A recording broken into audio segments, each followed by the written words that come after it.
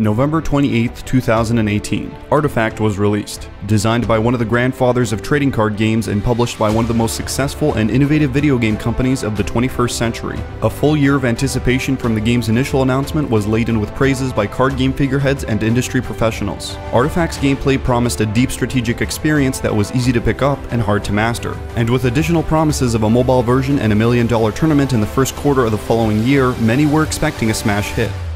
What was to follow was anything but. This is the story of Artifact's launch.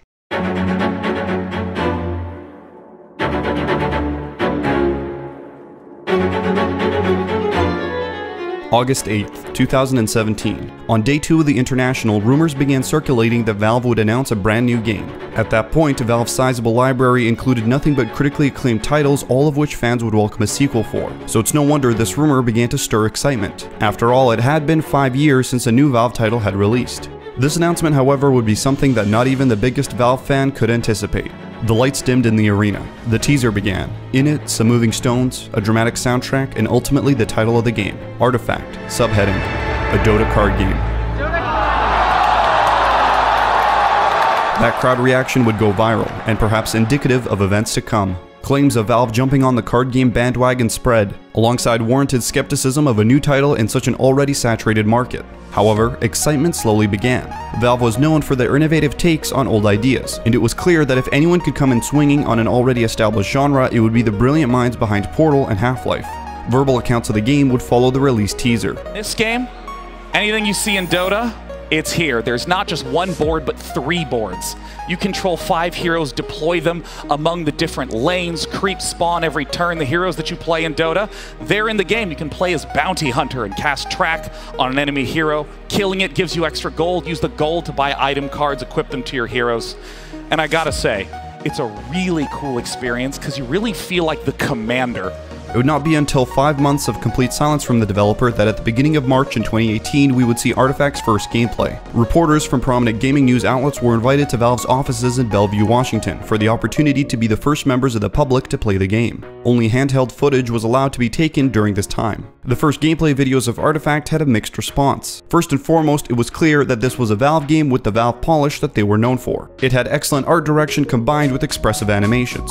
The innovation was in the form of the three-board nature of the game, which was not the first of its kind. The Elder Scrolls card game also shared a multiple board layout, however Artifact's Dota 2 theming was more appropriate for the mechanic. Three lanes, three boards. Jokes and thinly veiled concerns began stirring that Valve wanted players to play three card games at once, as the complexity of the gameplay became more and more apparent. Most of these concerns would be quickly dismissed. Valve seemed to want to treat fans of the card game genre with something different, as even though the card game genre was deeply saturated, it was unfortunately prone to a lack of evolution. Hearthstone, the biggest success in its field, became the giant it is by offering a low skill floor. But here Valve was showing something that was not only hard to parse at a glance to a new player, but also seasoned veterans of the card game genre. A presentation was given at this event by none other than Valve's own CEO, Gabe Newell, describing their expectations and thought process moving forward with Artifact. The requirement for Dota, I mean for Artifact was to build the best possible card game, right? It wasn't to build a Dota 2 card game right? The Dota 2 teams didn't say, oh, look, everybody else, they've got card games, we should have one too. The Artifact team was like, let's go build the best card game. And they said, out of the available IPs that we have, which one is most appropriate, know? Mr. Newell would continue on to state that they envisioned Artifact to be a game where power did not correlate to rarity. Investment in the game would reward the player and that it would move away from being pay to win. Every card game player is aware of these problems and most players outside of the genre are hesitant to approach because of them. The trepidation that Valve could not tackle such major concepts was set aside. If anyone could do it, it was Valve. Here, he would announce a mobile version and a $1 million tournament in the first quarter of 2019. However, at this presentation, the most notable reveal was that Artifact was designed by none other than Richard Garfield. Mr. Garfield is renowned for his success in the card game genre, extremely prolific and widely praised for his hits like Netrunner, Keyforge, and the most successful paper card game in history, Magic the Gathering. This was the icing on top of the cake, the most successful card game designer combined with one of the most critically acclaimed publishers. Garfield's name would be plastered on any future news piece covering the game, and Artifact's small fanbase began to grow exponentially as the designer became known. At this press event and subsequent interviews going on until the game's release in November, Garfield would reveal his vision for the game. The electronic games that had, electronic card games that, that made to that point much simpler than paper card games. And that seemed like a shame because you've got this resource, computer, which could handle much more complicated things than a tabletop. And so uh, I had some mechanical ideas for how to keep the game flowing because there are these issues, for instance, with Magic. When you make Magic into an electronic card game, there's a lot of things which don't work as well electronically as they do over a tabletop. You constantly have to be on the alert for what your opponent's going to do so you can interrupt the action at any time. And so mechanical things like that had been. Uh, uh, when thinking about them in other products, it had made the games become simpler, I think, than a lot of the uh, game players were looking for. The press tour continued. More Valve giants revealed their participation in the project. Brandon Reinhardt, the project manager, originally a programmer working on Epic Games on Unreal Tournament and now involved in the design of Team Fortress 2 and Dota 2. Jeep Barnett, a programmer on and a member of the original team that made Narbacular drop, who were all hired to create Portal as a result. Bruno Carlucci, a legendary caster and analyst for Dota 2, later hired full-time for software development at Valve, and many more. These were the type of people working on Artifact, industry icons, further accelerated by the fact that Valve's flat management structure meant that these people were working on Artifact out of their own interest. Despite this, all was not peachy amongst Artifact's public perception. Slowly, Artifact began to develop a stigma. From the very first reveal of Artifact at the International, it was clear that regardless of the quality of the product, Artifact was not what Valve's core fanbase wanted out of the developer. Frustration and anger stemmed from die-hard Valve fans who were looking for a sequel to one of their single-player titles. Who asked for this? Valve. It could have been anything. So after so much time has passed since Valve launched their last acclaimed title, it is fully understandable to be disappointed when their new game turns out to be their own version of Hearthstone. My favorite internet comment was this person who said, Well done, Valve, not only can you not count to three, you can't even be counted on. Oof tough crowd. Around this time during the press rounds, it would be revealed that several digital card game figureheads and streamers were being gradually invited to play an NDA-laden closed alpha of the game. The selection of invitees was wide, successful card game players made sense, but big-name Dota personalities and contenders were also brought in. Furthermore, reports of esports teams officially signing on Artifact players began to surface, some of which would also be selectively granted alpha access. Those that did have access to the game would speak highly of it. Yeah, I'm looking forward to Artifact. It's gonna be like an esports card game, you know? Pretty hyped. There's finally an esports card game. That is a lot of play and counterplay, and I think you guys are gonna love it. Yeah, I can't talk about that game too much, but I'm really excited for it. I think Artifact will be a, an excellent game. An air of thinly veiled elitism began to emanate from Artifact's core community. Criticisms of the game's perhaps unnecessary depth was rebutted with fans claiming that this was the game's primary selling point. Claims of a lack of mass appeal was met with disdain for even insinuating the idea that it was something to strive for. The concept of a closed group of people playing this highly anticipated game and giving their praise only added to the effect that Artifact was not for everyone. From the initial announcement at the International, it was rumored that Valve would integrate their Steam marketplace into Artifact. This made sense. The infrastructure was already there, and it was a proven success by its implementation in titles like Counter-Strike Global Offensive and Team Fortress 2. Additionally, this transactional nature was a traditional aspect of trading card games. Card game stores to this day offer a similar service. Confirmation of Artifact's inclusion in the Steam marketplace was made loud and clear at the press event. Alongside was the announcement that while cards were able to be put up on the market and similarly bought off by players, they would not be tradable, meaning that all card transactions that would occur in Artifact would have to go through the marketplace, and more importantly have their value deducted by the Valve tax, a cut that the developer takes with every transaction. This news was universally met with distaste.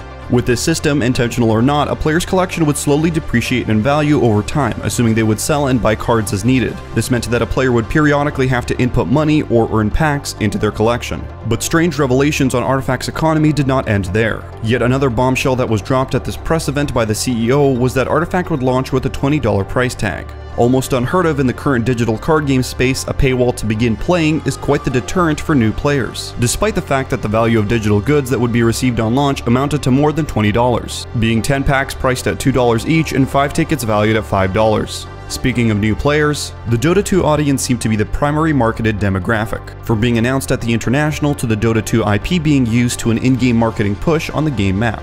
What was clear was that Valve wanted the Dota 2 audience to see Artifact and participate in it. What wasn't clear was their pitch. The Dota community is used to getting their gameplay components all at once and for free, as is the system in Dota 2. The monetization model of a card game and by extension Artifact is the polar opposite of such system. However many Dota fans did end up playing Artifact, many more disregarded the game entirely thanks to its economy. August 1st, 2018. Nearly a year since the last tweet that the official Play Artifact Twitter account sent out, an announcement was made that Artifact would be playable at PAX West, a popular gaming expo later that month. Also revealed was that this event, participants would be given codes that would grant access to Artifact's beta, which was scheduled in October, providing a month of in-advance access. During this period, many more streamers and card game professionals came out of the woodwork to reveal that they have been playing in the closed alpha. Positive feedback across the board, but with doubts of mass appeal. For career Hearthstone players, this was at a time when the metagame was feeling pretty stale, so many were eager for something new or some reason to switch games. Believing that Artifact would be the next big thing, many announced their switch. So, I have made the choice to move to Artifact.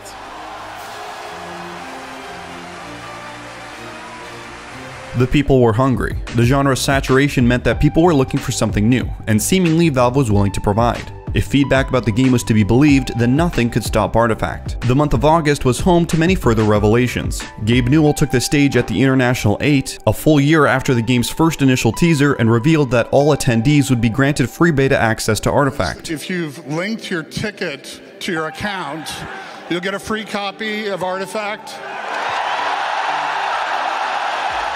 Quite the different reaction from the year previous.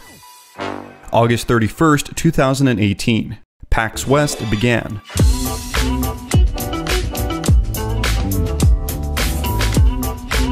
It was revealed beforehand that only four pre-constructed decks would be available to play. This was still enough new content that people haven't seen to get interest raging. On day two of the event, an official stream began highlighting the game between attendees of the event and casters. Casting the event were major Dota 2 figures. Valve was in the fortunate position where they could shift some of their Dota personalities to Artifact to curate the scene with some of their great talent. It was let slip during this time that Valve was hosting weekly private tournaments for alpha testers, with generous prize pools going up to $10,000. It seemed that Valve cared and wanted their alpha testers to put their best minds to the game and push it to the limit. Artifact at PAX was a success in its purpose. Anticipation was at an all-time high, but the keys handed out at the event were at an all-time high demand as well. In general, beta codes are a good method of generating excitement about a product. They are artificially scarce and can easily be distributed to content creators, who in turn can promote themselves and the product at the same time. It's a system that works, but can create many frustrating outlier situations. Seeing the success that the beta key system had for Dota 2's beta, it made sense that Valve would employ a similar system for Artifact. However, as expected, and similarly to what happened in Dota, a secondary market developed. Keys could range and would sell from anywhere to 50 to upwards of $400 on eBay. Perhaps more than anything, this was indicative of the level of hype that was generated around Artifact. The fear of missing out on the next big game caused many to look for any chance they could to begin playing the game early, and practicing for the big esports scene that was seemingly on the horizon. In fact, at this point in time, this was a growing concern from the community. Understandably, many of the big names invited in the closed alpha were major card game competitors that planned on competing themselves in the esports scene upon the game's release. Concerns were brought up that these players would have an unfair advantage going into launch, and that perhaps even the constructed metagame would be solved going in. Regardless if these concerns were rooted in truth, they did fuel the growing dissent. The elitist stigma that Artifact was developing was certainly not helped by the key system. More than ever, fans of Artifact were considered pompous with their private clubs, complex gameplay, and willingness to abide by the game's economy.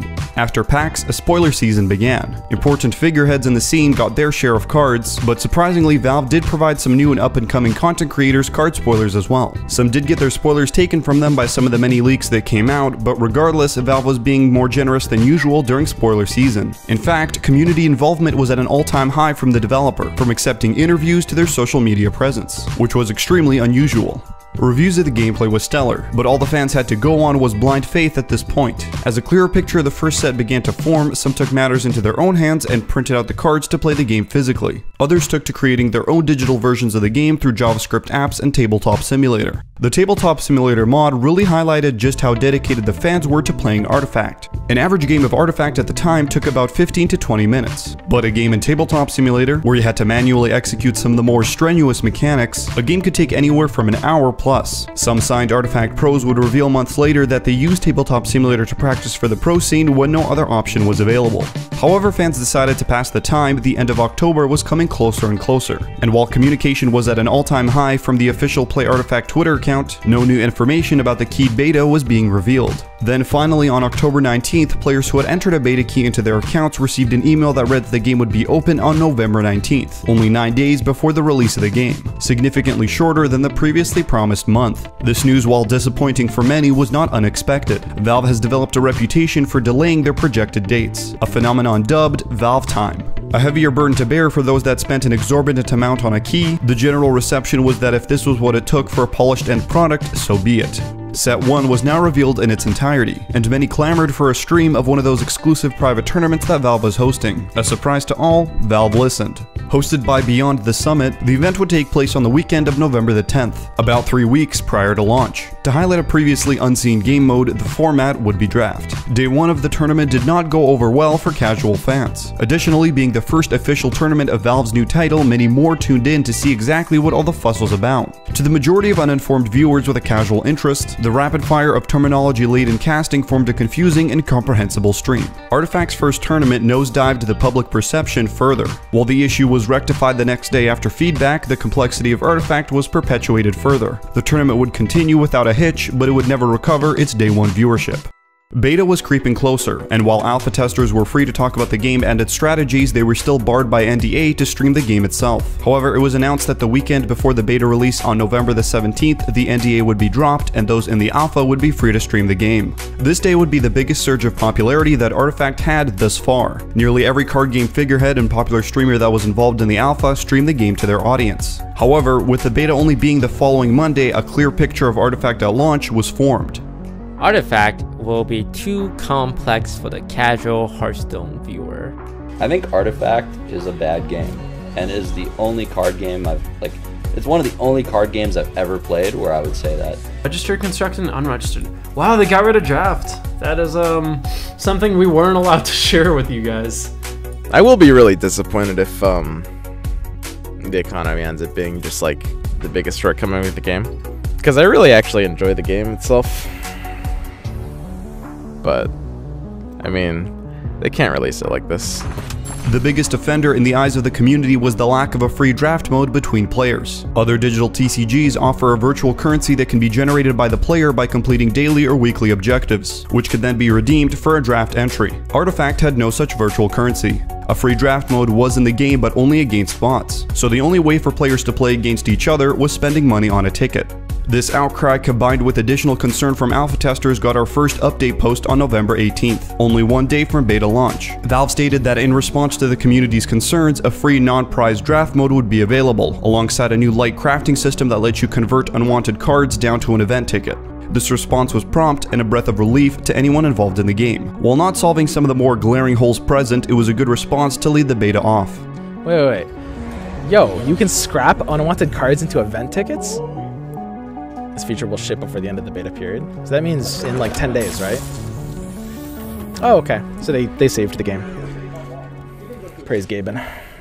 November 19th, 2018, the Artifact closed beta for keyholders was released. After a little over a year of anticipation since the game's announcement, the keyholding public could finally play Artifact. Smooth was the launch, however previous game problems which were either disregarded or lacked a first-person perspective began to make themselves apparent. Core gameplay problems were brought up, such as the game not clearly telegraphing why exactly a play you made caused you to win or lose. Another complaint was the feeling of a lack of player agency involved when the game dictates the direction that your units attack and spawn. This was in contrast to the players who enjoyed these mechanics, saying that the telegraphing is learned with time and the game is designed to put you on your feet by reacting to the random components.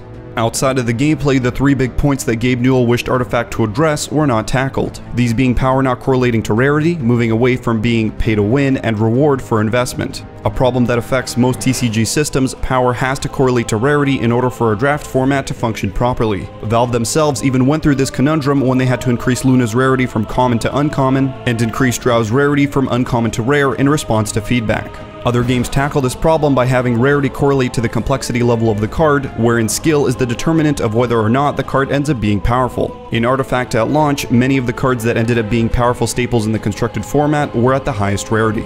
Pay to win is a more complicated concept within the scope of card games. At its most base definition, Artifact and by extension all card games could be called pay to win, simply because there is an option to pay money to circumvent effort that a player not paying will have to go through. While it would be more appropriate to call Artifact pay to compete, since the desired outcomes of gameplay are different per player, it's a topic for a different discussion. Artifact did not provide enough ways for players to acquire cards beyond spending money. Regardless of whether or not this was because they cared about the economy of the Steam marketplace or because they were greedy, at launch the only way to keep growing your collection without having a good win rate was to pay.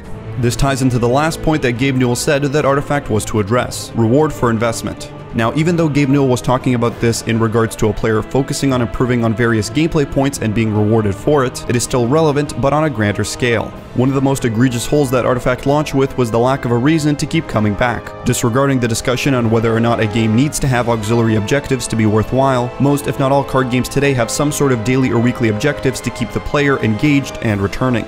Artifact was in a dilemma. Valve did not want to put free cards into the game's economy as not to tank their overall value, and with a lack of any cosmetics or similar fluff, there was nothing else that they could provide the player to feel rewarded.